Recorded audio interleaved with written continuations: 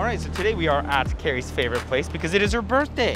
Happy birthday, Carrie. And we're doing her favorite activities, playing with dogs on the beach while holding some dog poop because we're responsible dog owners.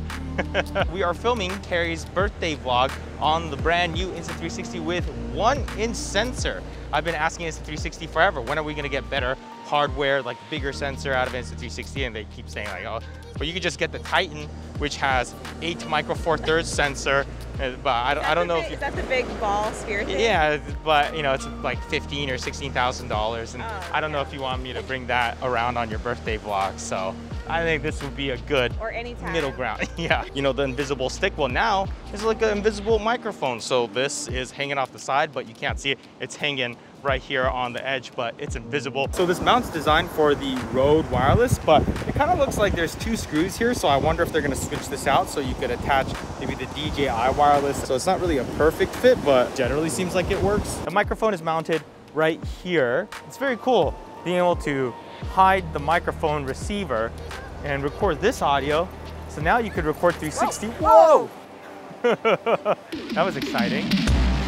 I want to get a bunch of different types of shots with this to see how this sensor handles. Now, in case you've never shot with a 360 camera before, it's actually really fun. You just throw it at the end of a stick and run around basically. Now, do keep in mind that I am using a pre-production version of the firmware and Insta360 is a sponsor of this episode. So don't look at this so much of a review, but we're going to be going over the shots I was able to get with it, some of the new features and pros and cons because even though this one inch sensor is awesome, it's more designed for better image quality while the One RS and the One X2, they have the 100 frame per second. Here we're only getting 50 frames per second at 3K and the other action cameras are submergible in water. This one's water resistant, IPX3, so rain, no problem. Snowboarding, go for it but you don't want to take this and dunk it into the water. But I would bet that they're working on a waterproof housing. But then of course there's the benefits of a larger one inch sensor. Like usually with a bigger sensor, we get better low light performance. So when you go out with your buddies on a Friday night, you get one too many drinks, then all your regrets will be recorded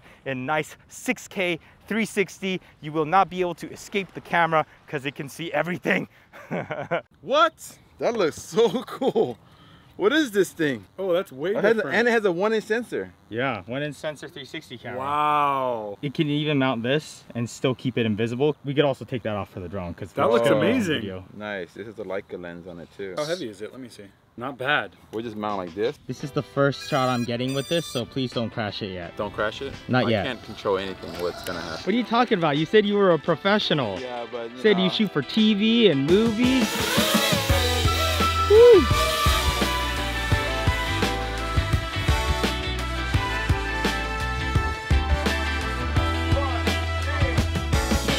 Great. I feel like the bit rate's up a little bit higher. Like uh, I'm getting more be. detail mm-hmm. in the dirt, shadows. especially considering how fast we're moving.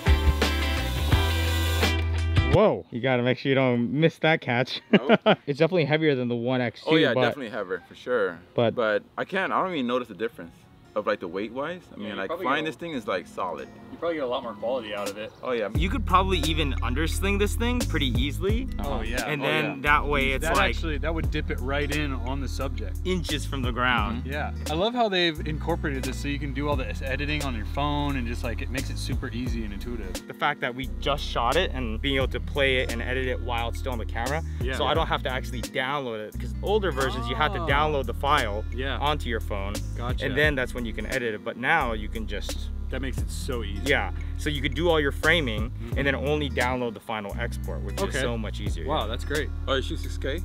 Uh, yeah, 6K. No way. 360 is one of the times where I want as much resolution as I can possibly Yeah, get. totally. You could also do this viewfinder mode.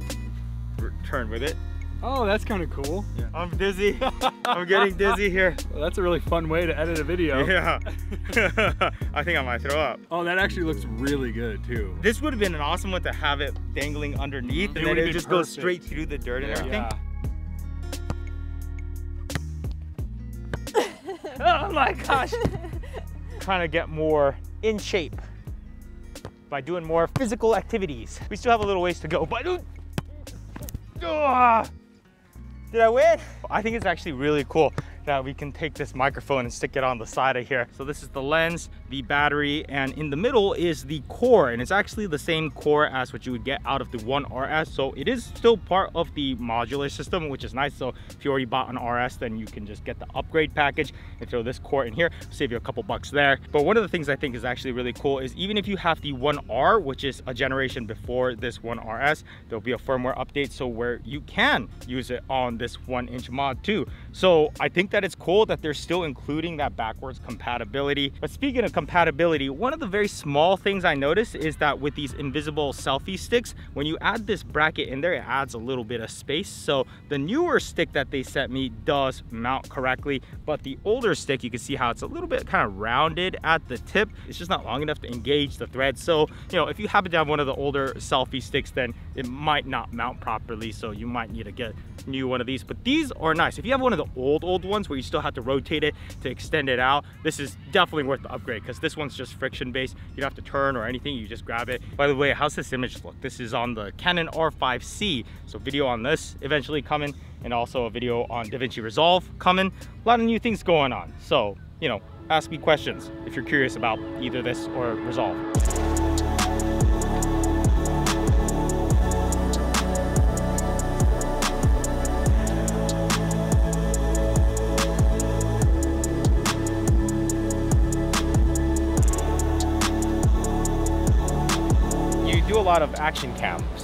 Yeah, probably one of the coolest ones was in Australia. Ken Block came to Australia for the big V8 supercar race and they had him doing display things. I think I had seven GoPros on his car, had ones of the pedals on the roof, everything. The cool thing about this is it's like a bunch of action cameras in one, in mm. a way. When you first start filming with it, it's kind of weird. Like it doesn't really matter where you're aiming it.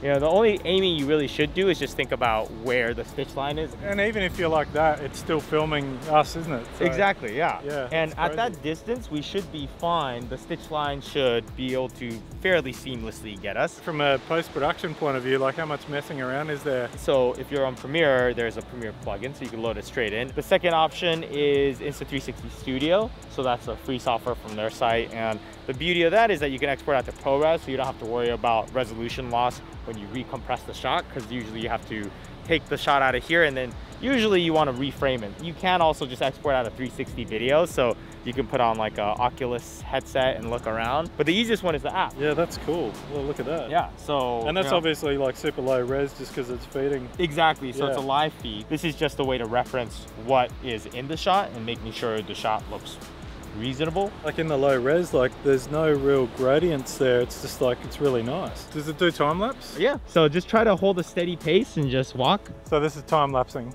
Uh, no, this is just a regular video, so we could just export this out like a regular video, but we can also do like 16x hyperlapse and we'll actually take all the frames and blend them together, so it's like a motion blur. After that long, I've been treacherous eating way walk. too many burritos. like. so with that zoomed in like that in sort of post-production, yeah, what's so the resolution going to be like? It's not going to be great because the whole image, the whole global 360 image is going to be 6K. So if you zoom in way tight, then Yep. you're looking at a very small part of that 6K, right? But then Well, if looking you go I mean, kind of in that, the middle, that looks really good like that. yeah, like on the phone, I usually try to stay near the middle-ish generally, depending Mm. on the screen. But on your phone, I mean, you can get way in there. But if you were to zoom all the way in and look at it on a big screen, you know, so the professional ones are more like 11K, but this is 6K right now. We're doing like a bunch of motorbike video. We're just doing one talking about lane filtering.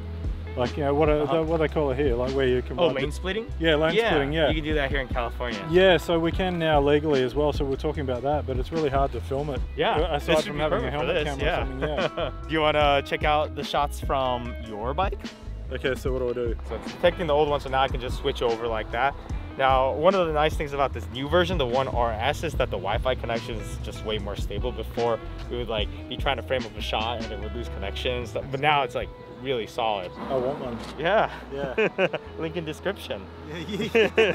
so the way we've had this mounted on the bike is Mark's invention. These magnets are insanely strong. The correct pronunciation or pronunciation or what is it? Neodymium, like rare earth magnets. The small one works for just mounting an action camera straight on, right? But hmm. what's cool about this is that it's like the, the pro version. And this one works great for if you're trying to mount like a stick because you get so much more leverage every time you hmm. go out. And it's these three feet. Rubber coating helps you to stop scratching paint and stuff like that. And Yeah, without Yeah. the rubber coating, it just dink and oh, just Oh, leave yeah. a nice footprint on every vehicle you mount it on. My YouTube channel, like I film a lot of it because it's real vlog style, but building cars and bikes. So many like time lapses where you're doing stuff like I built my Land Cruiser on there and a couple of bikes. Just stick it on a bench when you're welding or grinding and then get those shots. Highly recommend it, but maybe check if your car is aluminum before if you want to mount it on your vehicle. Yeah, everyone keeps correcting me because I say aluminium because I'm Australian. when it gets to around this time, that's when the exposure for the previous 1Rs don't look as good, you hmm. know, but this should hold up in this light. So the general philosophy is a bigger sensor means you can have a less dense pixel pitch. So right, if you have a really small sensor that's 4K, you have a really tight pixel pitch, so the density of each RGB photosite is really, really tiny. As you get to a bigger sensor, you can make those photosites bigger, which means they capture more rays of light, which means you have better low light performance, better, better dynamic range, like everything starts to get better So the picture looks gooder. picture looks gooder. And it's got a Leica lens. It's a oh, so- Summicron. Summicron. Leica gloss is always good. That's cool. It says one inch, and it goes into flow state, which you know is good for your yoga. Thank you, Sensei Eric San. I will it's go now, Interesting. and I will shove this in inappropriate Ooh, places. don't don't know. Hi, Dylan. What up? How you doing? Yeah, 7 out of 10. Check out some of these shots. So this is like Shot Lab. So basically, it's some weird creative shots you can get out of this camera. Okay. Hey, that's like the uh, Kendrick Lamar music video. Oh, effect, right? yeah. That's kind of cool. That's Should we try that one then? Yeah, what do we do exactly? Well, first of all, you have You to dance. dance. You've been practicing your pop locking, right? Yeah, barely, no. Are you a, no, No. you have not been practicing. You pick an effect, you click on it, and it gives you an entire tutorial. So you basically have to be like that girl. You ready? Ready to do Dance that? like that? Yeah. And action.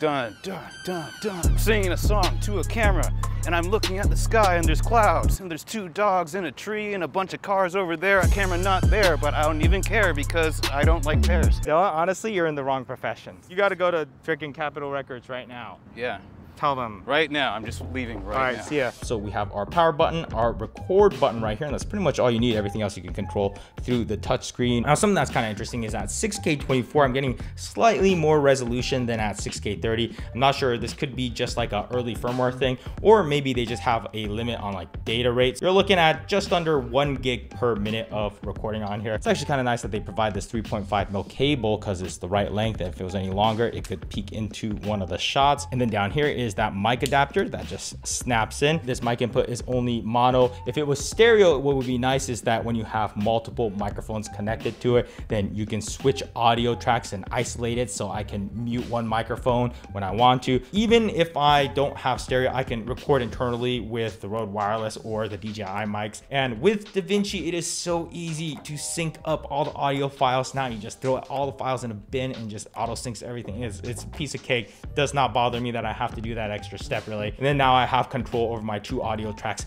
isolated, which is great. Size comparison with the One X2, definitely bigger and heavier, and the lenses are spaced apart a little bit further, which is kind of the trade-off to going with bigger hardware. You have to have it spaced out, but the further apart the lenses are, the more distance you're gonna usually need to stitch the lenses together, because essentially the software is trying to make it look like one lens covering the whole thing, right? Avoid trying to put your face right there in that stitch line or else you start looking a little funny.